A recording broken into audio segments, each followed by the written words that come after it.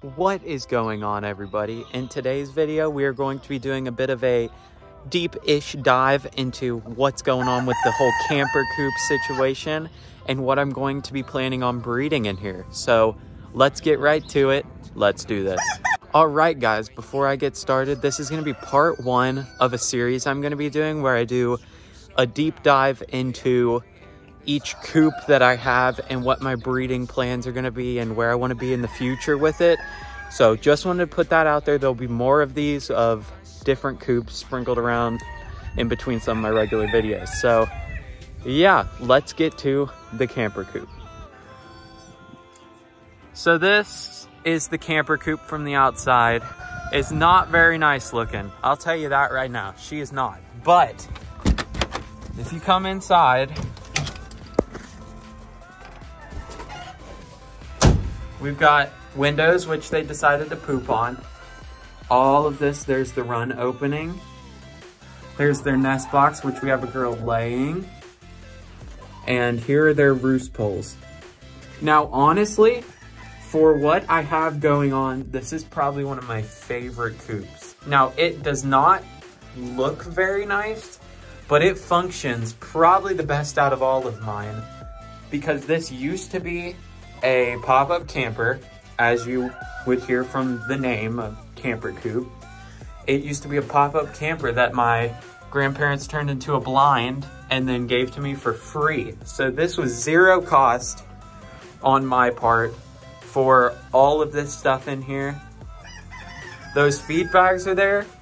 It looks really weird at the moment, but they're there because winter, it's still kind of cold, and I don't want too much airflow through here because this bad boy got three windows and they all let air in. But let me tell you, during the winter, this coop is one of the warmest out of all my coops because the bottom around here is all insulated, so it is very, very nice on the inside. And then that is one of my Lakenvelder hens, which I am getting to right now to talk about.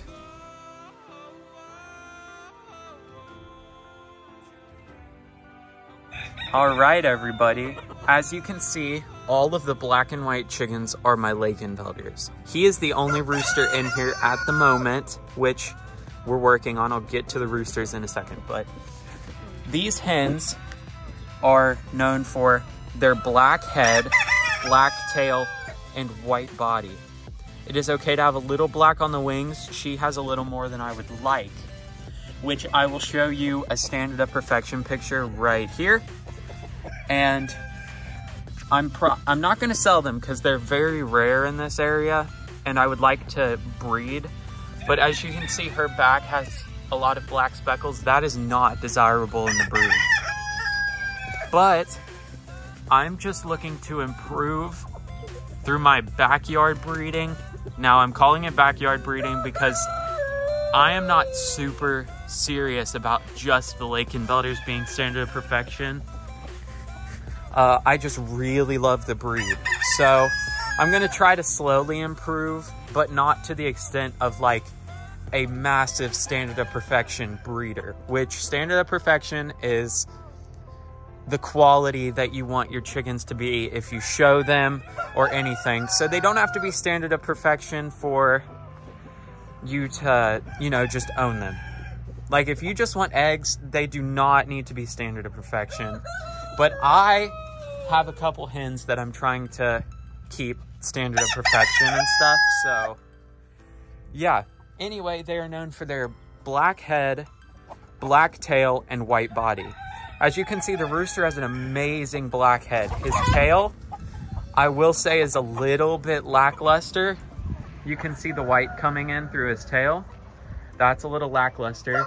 So I really plan to pair him with a hen that has a whiter head and a very dark tail which as you can see like she would not be the one because she has a light head and a light tail but if you look at maybe this one she has a little bit of leakage but that tail is like jet black but her head as you can see should be completely black but has white so that crossing would be very fun because I would be able to improve the rooster's dark tail feathers and improve her head color.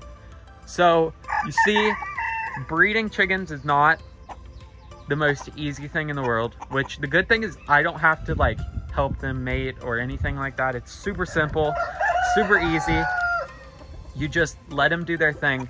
But also at the same time, if you don't have quality stock, you're not gonna, you are not going to have a show quality bird. So I got all these birds from a hatchery. Now, any breeder will tell you that is the dumbest idea ever if you're trying to breed towards standard. Now, I don't want to personally go out unless I'm at Ohio Nationals and like get tempted. I do not want to go out and spend 50 plus dollars for a bird. Now, that's for the lower end of the scale. If you buy a more show quality, like adult hen, they can be 200, 250, even 500 for certain breeds and stuff. So you really need to be like thinking if you want to breed standard of perfection, you either got to start at the bottom and work your way up or start closer to the top. And that's the easiest way, but also at the same time, I don't have the money at 16 years old without a job to spend $500 on a bird because I have over 80 and that's just not very smart for me to do. So anyway, back to the Lake Lakenvelders and the Wyandottes. Now, if you look right here, that is a splash-laced red Wyandotte. Now, these were from a hatchery, so yes, quality is pretty low. Their red is not where I would want it at all. I would almost call them a splash laced gold. If you've ever seen a gold laced Wyandotte, I'll pop up an image right here. Um, a gold laced Wyandotte is probably closer in color, but in the future, I'm planning on breeding towards a deeper, darker red, which you're probably wondering, hey Kyle, where the heck are the roosters to breed with them to even get purebred babies. And let me show you where they are. All right, so this little coop is right next to the camper coop, but I count it as the same coop because this has to do a lot with these guys. So these are my splash-laced red Wyandotte roosters. Now, if you look, he is very golden.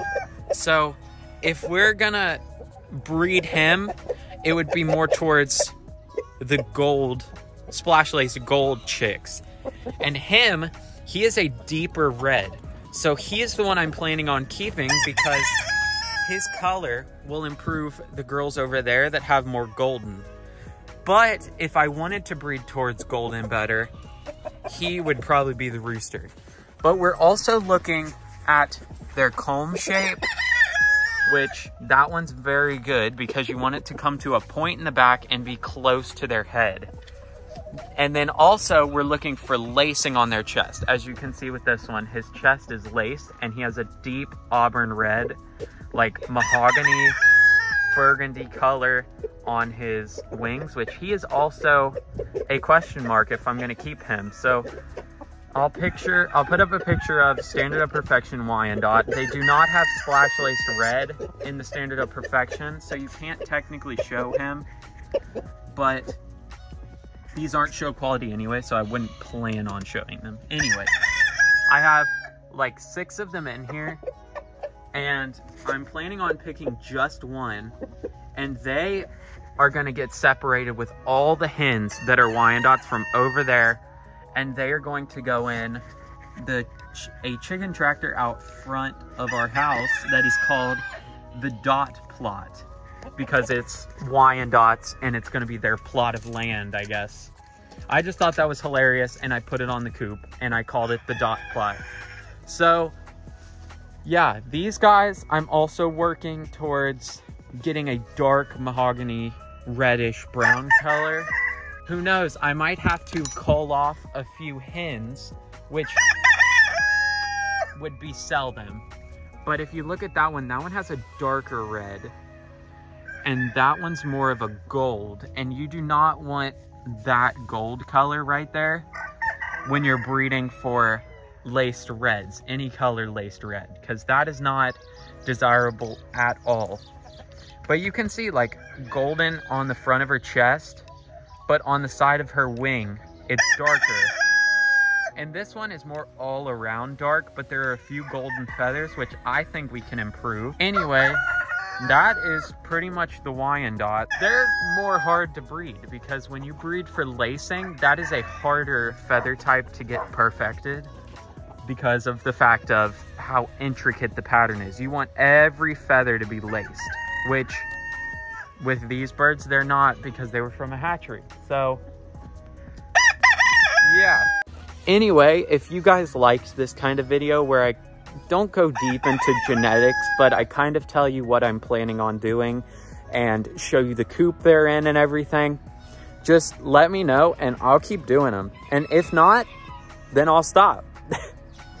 I don't really care either way. I just really love talking about my chickens. So if you guys like this video, make sure to like, subscribe, hit that bell and comment down there. Thank you guys so much for watching. Bye.